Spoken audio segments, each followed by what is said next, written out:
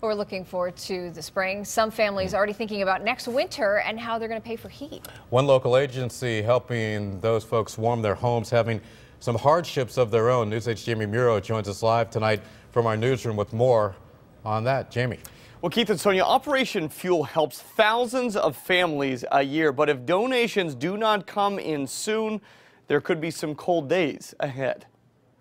It's either a winter to remember or one to forget. The bottom line, it's been cold, and when the elements bear down, the reality becomes harsh for those needing heating assistance. Pretty much the same as it was two winters ago, where we were processing up to 150 applications a day. Brenda Watson is with Operation Fuel, an agency dedicated to making years? sure low income residents have year round energy assistance.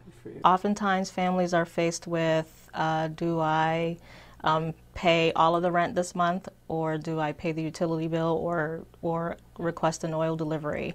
And uh, it's a really tough call for a lot of the families, and that's where we, we come in. Through mid-February, Operation Fuel has given out more than two million in energy assistance, while there's still almost a million left to help an estimated 4,000 people. But there is great risk that account will be dry by March 15th, so donations are needed.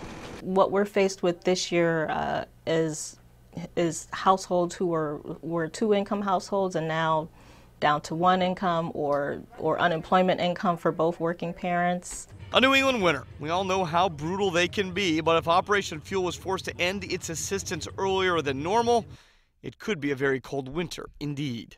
You can add a dollar on your utility bill. That's the easiest way to give, or you can send us a check. And of course, the need is all across the state, although the largest area that they help is here in New Haven County. Now, so far, they have raised $250,000. The goal, however, is to reach $1 million. We're live in the newsroom. I'm Jamie Muro, News 8.